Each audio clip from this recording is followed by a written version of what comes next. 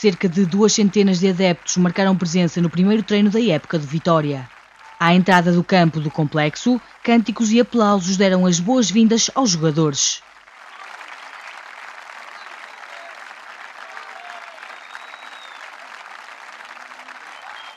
O guarda-redes Nilson foi apupado por alguns adeptos do Vitória, numa sessão em que marcaram presença o presidente Júlio Mendes, o vice para o futebol Luís Cirilo e o diretor para o futebol profissional Flávio Meireles. João Alves não fez parte dos 21 jogadores que estiveram em campo devido a um ferimento no pé.